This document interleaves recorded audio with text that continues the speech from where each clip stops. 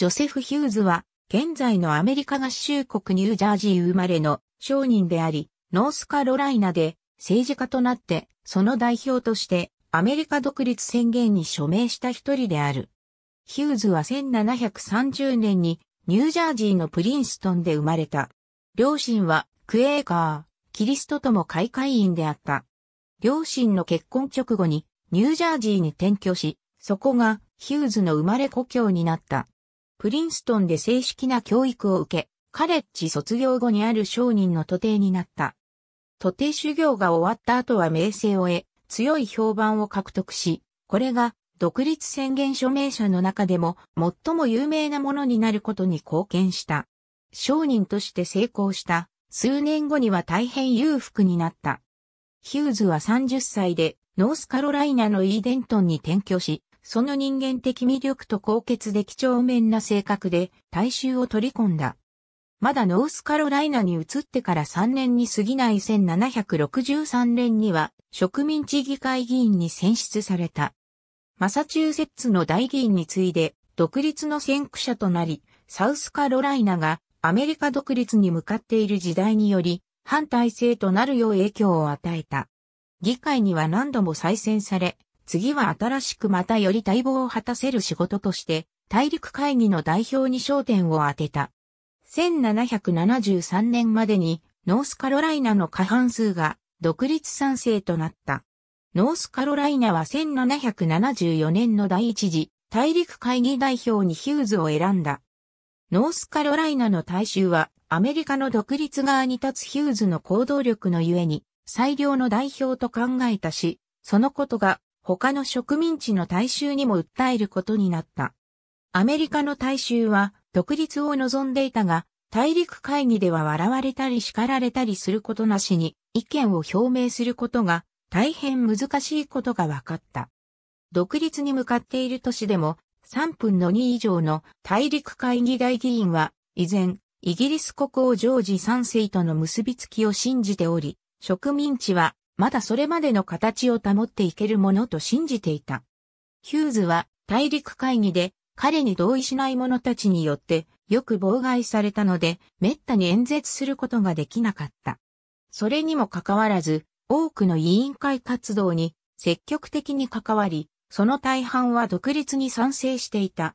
そのような委員会の一つが通信委員会であり、独立を支持する概念を提唱していた。ヒューズがこの委員会に提案した概念の一つとして、一般に植民地の権利を言うならば、これらの権利が破られ侵害されているいくつかの例と、それら権利を取り戻すために追求すべき最も適当な手段を述べよう。と言った。伝統的にクエーカーは平和を愛するものである。皮肉なことにヒューズはイギリスに対する戦争に賛成する側の一人であるだけでなく、大陸会議でも数少ないクエーカーの一人であった。クエーカーは戦争に反対するだけでなく、戦争を支持する委員会にも強く反対していた。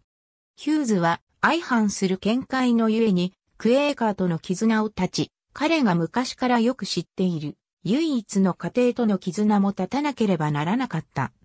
1776年の初めに、ヒューズは大陸海軍の初代海軍長官に指名された。ジョン・アダムズはしばしば、ヒューズがアメリカ海軍の基礎と土台を据えたと言った。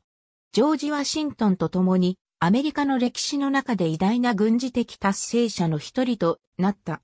請求権利に関する秘密委員会にも携わっており、さらに植民地の独立を促進した。ノースカロライナが他の植民地に先駆けて独立を決議する主要な動機の一つにもなった。また、アメリカ独立宣言が署名されるいくつかの動機の一つにもなった。